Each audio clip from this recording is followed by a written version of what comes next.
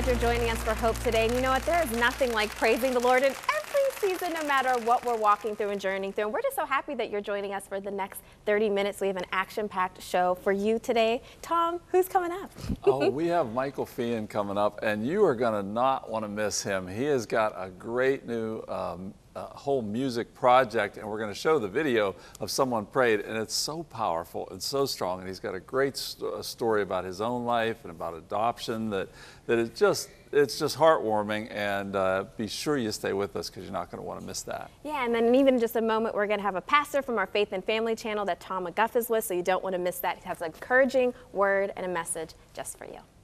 Well, uh, we've got a verse. You know, Cindy, you've been really happy over here today. I mean, she's like, you did. You should have seen her before we went to air. I mean, she is happy over here I'm today. happy. I was singing. I was singing songs. I had, I don't know, just sometimes, you know, there's just certain days where you just spend a little time with Jesus. You're just happy of all the things that you've gone through, you've walked through. But God is just so good. It's important for us to praise Him in all times. Extra cups of coffee or something. I'm telling you. Uh, but uh, we have a great verse about maybe maybe you're not so happy. And here's here's a verse that uh, tells us what to do. James 5:13 says, "Is anyone among you in trouble? Let them pray. Is anyone happy? Let them sing songs of praise." Tell me about that. You know what? I one thing I love. There's nothing like the power of prayer, no matter what season we're in, no matter we're walking in. But one thing I know in my own life is just no matter if I'm going through a tribulation, going through a trial, if I feel like I see a mountain before me, or if I'm in the valley, or if I'm in a storm, you know, there's something you can do when you just start praising the Lord, when you just start say, thanking Him for the little things, for the small things in your life. I am telling you, something happens in your spirit. There's breakthrough that comes. There's change that comes. Your mind is renewed and it's reset because it's so important for us to know who our good Father is. And you know, even something today, Tom, that God laid on my spirit, and I just got like even teary eyed. I was listening to the song coming from the gym about this whole idea of peace, that Jesus is the Prince of Peace. Peace is a person, and it can only be found in Jesus. And when you spend intimate time with Him, when you surrender and lay it all down, it's amazing the peace that surpasses all understanding when you start lifting Him up and praising Him, what it does for your spirit inside. I love that, that it's a person. We are called to a person. We are called to not a religion, not a code of ethics, not some kind kind of better self help thing. We are called to a person, a relationship with a person. And I like what you said, Cindy. You know, sometimes when we are, it says that when we're happy, that we need to sing praises, but sometimes in the valley, in yeah. the very middle of the hardest thing, the hardest time, you need to sing praises too. Uh, the sacrifice of praise. Jonah praised the Lord, gave the sacrifice of praise from the belly of the fish. So whatever situation you're in, it's not that bad, okay? It's not as bad as that. So have that, have that within you. That's part of that relationship, that trust, that faith that happens right then when when you need it the most. And Tom, I have a question for you because I don't know if you do this, but sometimes like my husband Jake, I know he's watching today, there will be times I'm singing in the shower and I'll just make up a song. And sometimes just even doing that and just singing to God and singing those songs, it just does something to his spirit. So I just want to know, do you ever like sing and make up songs to God? uh, I usually sing in the shower and it's usually nothing about God. It's just something whatever hits in, hits my head. You know, the interesting thing in the shower is when God speaks to me though a lot mm, of times. Yeah. That, that just that and you don't have anything to write it down, you know know, so you really have to remember. Uh, so yeah, it's, it's a good time. It's a good time to be refreshed by the Lord, and it's so important that we get that refreshing every day. But right now, we're going to head over to Tom McGuff, who has a very special pastor to give you an encouraging word. Thank you, Sydney. Pastor Adam Lawson is the lead pastor at Fresh Fire Church and, and now just involved so much in the ministry of the Dream Center mm-hmm. in Uniontown, Pennsylvania, and one of the boldest proclaimers of the truth that I've ever met. My brother, welcome to Hope Today. Thank you. It's great to be here as always. Now, I want to tell for our viewers, I want to, I want to tell the story about how God brought us together. Through the Faith and Family channel. And it would have been back in 2014 when we very inauspiciously were literally going to Bible studies and Sunday schools and worship services in the mission of building a team that God was building together that we would call the Faith and Family channel. And I remember that summer, 2014, before we went on the air, being with you at breakfast. I had seen you, I believe, on YouTube. Yeah. And I just, I, I, was convicted, and Lucy was convicted that this was to be a church. Praise be to God. Who would have imagined back at that breakfast at those inauspicious beginnings that God would bless us. Look what the Lord has done. Yeah. Amen. It's been extraordinary, and what we've been able to just see God do, and uh, really the, the places that we've been able to minister that normally we wouldn't have had the opportunity. Right. Uh, you know, just Sunday we had prayer requests come from Africa. My you know, goodness. and we Thank hear from, God. I think we've heard from 48 nations um, since that time because of streaming, because of, you know, Pittsburgh Faith and Family. So it's been just an extraordinary partnership. And, um, you know, you and I have talked off the air, and just uh, you all had vision for us and you believed in our vision, even though you know we believed in what God had called us to do, but you partnered with that, and you saw something in us before it really ever became a reality. When we were uh, broadcasting on YouTube with a small camcorder. And you know, rent to rent to own equipment or right. uh, hand me down equipment from somewhere else before we had any lights in the ceilings for TV. That's right. Uh, you believed in just the word that was coming forth That's right. and the, the mission and vision of the church, and we so appreciated that. And um, uh, we're, we're blessed by it. And uh, I, I've said it before, I've said it many times. Just before we had all of the things that were needed for TV, uh, you guys believed us and supported us and gave us an opportunity. And uh, really to just build the kingdom of God because it's about that. It's not about you know our church name or uh, Pittsburgh Faith and Family, but it's about the bigger picture, which is the kingdom of God. And we've been able to partner and see people, see the kingdom of God impacted and, and built because of that partnership. My brother, you have an uncommon obedience to the direction of God's Holy Spirit, and you will do what appear to be crazy things because the Holy Spirit is directing you. The Dream Center i- is part of that, one of those crazy things that the Holy Spirit has, has given you the opportunity to lead. Absolutely. Uh, I really believe God has called me always to just never be in a place where I'm comfortable and the people I lead. And so every time we sort of reach a benchmark, it's, it's just as if God speaks again. And, and I've had people say that I have crazy faith, but I dare to believe God for the impossible because that's what I understand from His Word. If, if He declares it, decrees in His Word, we can believe for it. And so uh, we've really just seen the need to uh, not just be a, a church where we're speaking the word and praying over people, but we, we teach people how to rebuild their entire lives from whether it's to recover from poverty or a lost job or an abusive situation or addiction. Uh, we just, the Dream Center is really a, a place where they're going to be able to get um, total life recovery, where we're going to be able to provide food and clothing and job assistance and uh, teaching them different trades. And so it's an extraordinary project um, that we're, we're excited about because I really believe you can change a person's behavior when you change the way they think. That's right. And so it's about getting the Word of God into their, their lives and their minds and really just changing their, their life from the inside out. You will know the truth, and the truth will set you free. Absolutely. The truth doesn't set you free. Knowing the truth is what sets you free. I, I want to give you an opportunity. You have an uncommon boldness in, in sharing that truth, and I want to give you an opportunity, Adam, to just look into the camera and to share that truth with some of, someone that's watching this program today, and you maybe don't even know why you were watching. You, you just flipped through, you stopped here, and not even sure why. I want to give you an opportunity to tell that person about the hope that they can have in Jesus Christ. Amen. Uh, it's an extraordinary hope that we have in Jesus. As, as Tom just said, it is the, you will know the truth, and the truth will set you free. And I'm grateful for that truth. I'm grateful for the truth that each of us can know uh, that His truth sets us free from uh, whatever bondages, issues from yesterday. I just want to encourage you today that yesterday is gone. And today it's a brand new day. And in, in Christ, in Him alone, that we have that freedom uh, and, and that truth, and that you can know that today. And I just want to encourage you today that we're here and we're praying for you. In the moments, they're going to they're going to go to prayer. And, and prayer partners are always here for you, and that you, you have the opportunity to know Jesus and to know Him personally. What we're talking about, the crazy faith that I possess, you can possess that too, just through a- an extraordinary relationship with Jesus Christ. He's the same yesterday, today, and forever. He's the one that'll never uh, reject you just because of, uh, of your past. I'm thankful that, that people may remind me of my past, but He never does.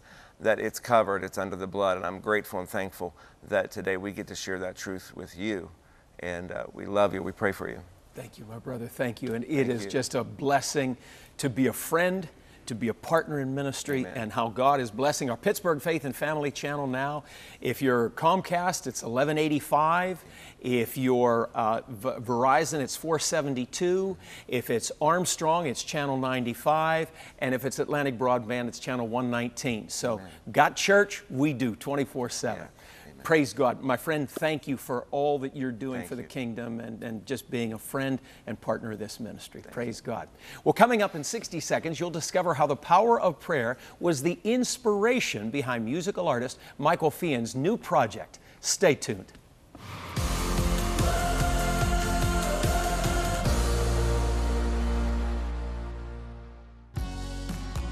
During this month of Thanksgiving, we want to say a special thank you for your faithful prayers and giving.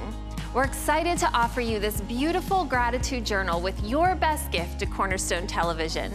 With inspirational and thought provoking prompts and scripture quotes, this guided journal will help you in your discovery of finding peace for anxious moments, joy in life's blessings, confidence to face every moment, and strength to persevere in hardship. This journal also makes an excellent gift. Its soft touch matte lamination gives a silky smooth texture to the hardcover. High quality binding allows pages to lay flat when open, and a beautiful satin ribbon conveniently keeps your place. Request this special journal when you give your best gift. Call 888 665 4483 or go to ctvn.org slash donate. Thank you for giving to Cornerstone Television. God has blessed us with the powerful gift of prayer. Man, it is a wonderful gift. And when we pray and believe for it, miracles can happen. And answered prayer was the inspiration behind musical artist Michael Feighan's new project titled Someone Prayed. He joins us now to share how his music provides a message of hope and redemption to our hurting world. Michael, welcome to Hope Today. Thank you, Tom. I'm very honored to be here. Thank you so Well, much. we're, we're blessed to have you. So, so just tell us about this new project. I mean, you're, you're from a, this is an interesting bunch of words here Christian, metal, rock and roll background. I mean, I love all that. I, lo- I think all that fits together really well. But tell me, to, to come from uh, that world into this new project, uh, Someone Prayed, could you tell me about it? Uh, yes, I mean, I, I joined uh, the band Whitecross in uh, 91, and God just took me on a huge journey with that. And um, this project really came out of left field. I mean, I this wasn't something I had planned on, you know, being an artist as opposed to kind of being a backing, you know, the drummer in the back. Um, but God just really just this, like I said, it came out of left field. But I'm I'm so excited and just things I've had on my heart for so long, you know, that I can just kind of pour out into this music now. And so I'm very excited about it. Well, again, what, what is the, the story? What prompted the idea of Someone Prayed? Someone prayed when I- I wrote that with the the first uh, producer that I had, uh, Butch Dillon, a great friend of mine, and he brought like a little a snippet of this song, and I I just gravitated to it right away, and we started writing this, and I just started drawing from um, a situation that my wife and I had went through when we adopted our daughter Tatiana from Russia, and it was a a challenging time, you know, and we just had people praying for us, you know, the whole, uh, it was about like a year or so, you know, we had to go to Russia twice. And um, so I just drew from that a lot. And then later on, which is pretty bizarre, that we would be going through a time um, where I'm kind of living out this song. And I love what Sydney said earlier, like when you're going through those valleys to praise, and that is not easy, but that is key. And my, I love, my wife said something that I, I love about this song. She said, everybody has a someone prayed story. You know, even if, even if you're not a follower of Jesus, someone is praying for you somewhere. Um, and I just I love the feedback that I'm getting from this from this song. I get so many people saying, you know, man, my someone prayed story is my grandma. She was on her knees every morning mm. praying for us and and just tons of stories like that and I love it, you know. Man, that, that is so good. I, I think we, we all have those stories. I know I have those someone prayed stories, but why don't we go right now? We have the music video here. It's really great, everyone. So uh, here is Someone Prayed.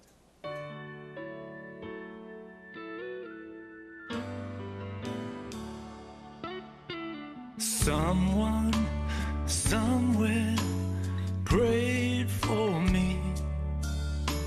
I really don't know who, and I really can't say when. It could have been my father. I really don't know. It could have been my mother. No, I can't say for sure. When I was down, when I had down, caught in the storm of life and no way out. When I lost faith, when I lost hope, it was your prayers that brought me home. Someone prayed. So few are called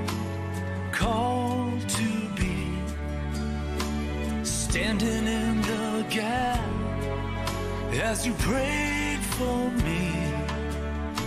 How did I make it through?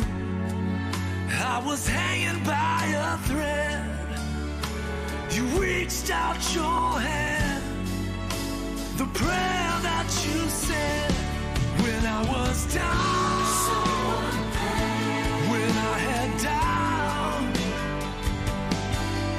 caught in the storm of life and no way out.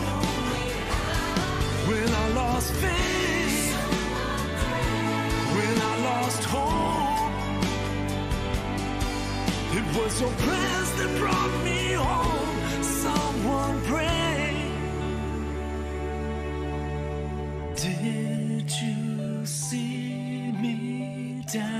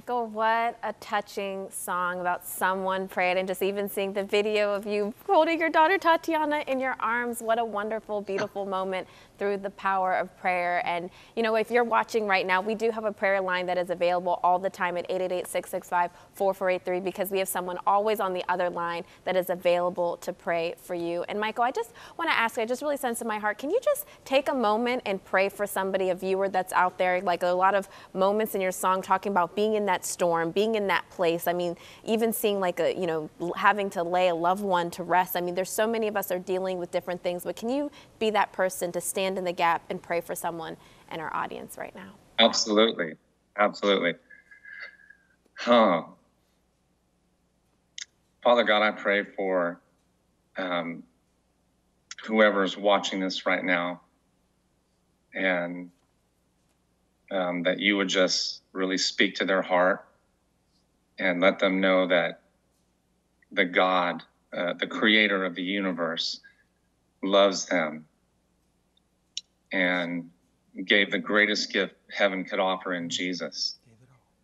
And um, that that you have a plan for them, Lord.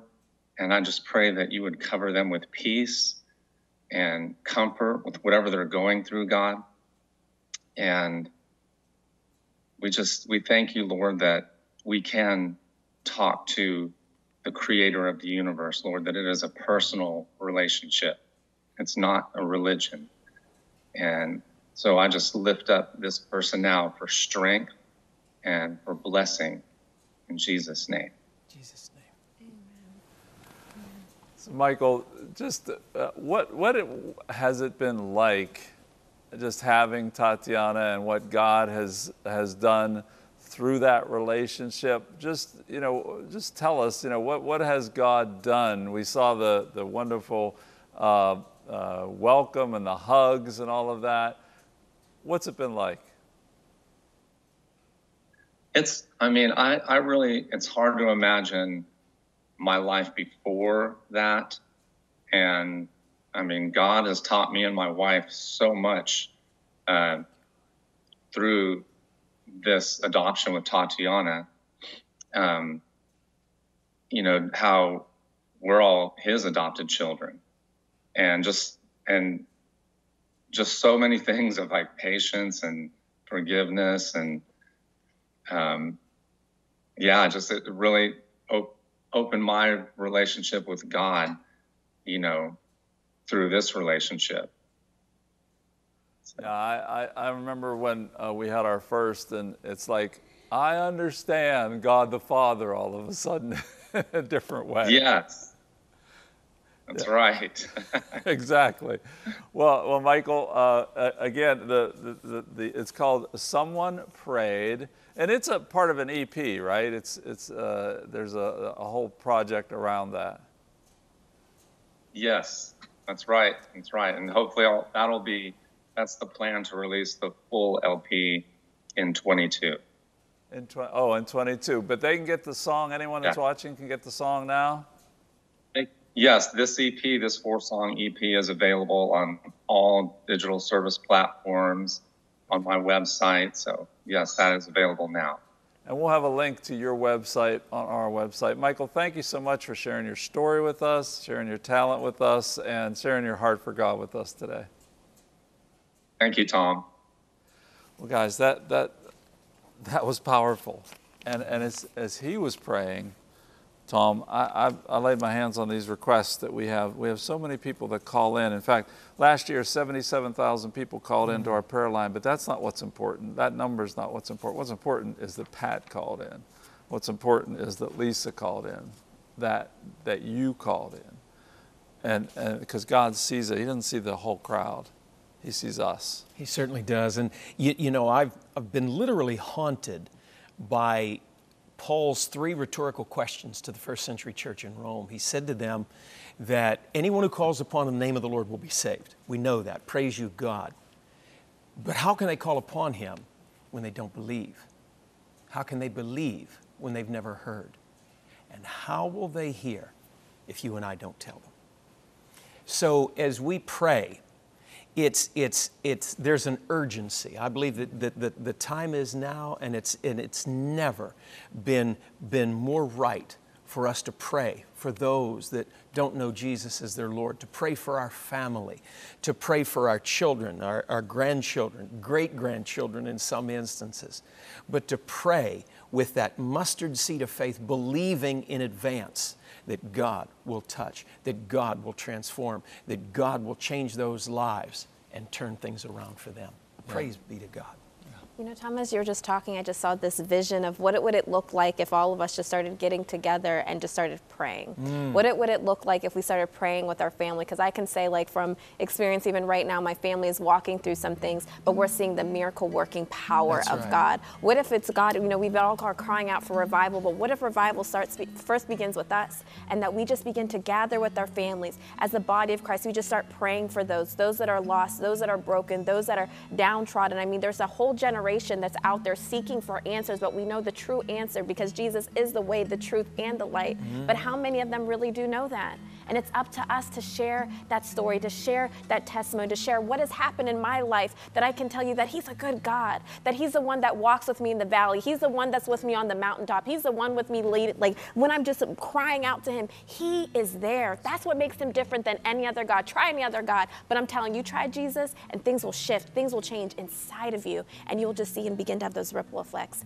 in our lives. So it's so important that we tell people about the truth of Jesus. And I'm so amazed, God. I mean, I said God. I meant to say Tom. that we've been just talking about God gives us the opportunity to pray, to use our mouth to even speak and to communicate with Him. You know, what you said reminded me, you know, Charles Finney, the great revivalist, he said that um, when you see Christians praying on their knees, heartfelt prayer, he says, you can expect a revival to break out. And then he said, indeed, it has already begun. Mm. When they, when we get on our knees, you want to see revival, you want to see change in your country, you want to see change in your community, in your church, in yourself when you're on your knees praying to God, it has already begun. He has begun to do the work. He has begun to change the, the, things that are inside of us. And that's really where that revival happens, where that change happens. It's in that relationship, that place where we say, hey, you know what? Maybe revival needs to come in here first. And then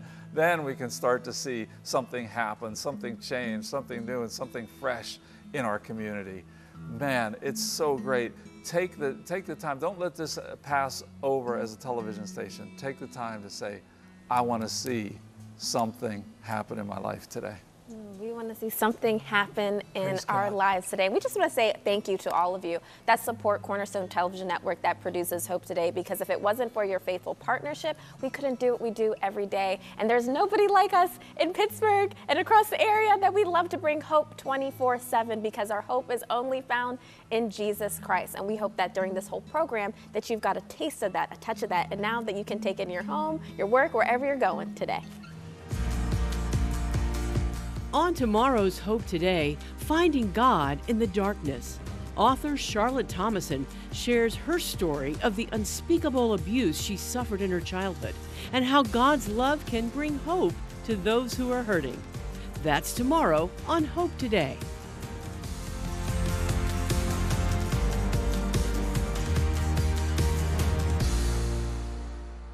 Cornerstone Television wishes to thank all our faithful viewers whose consistent prayers and financial support have made this program possible.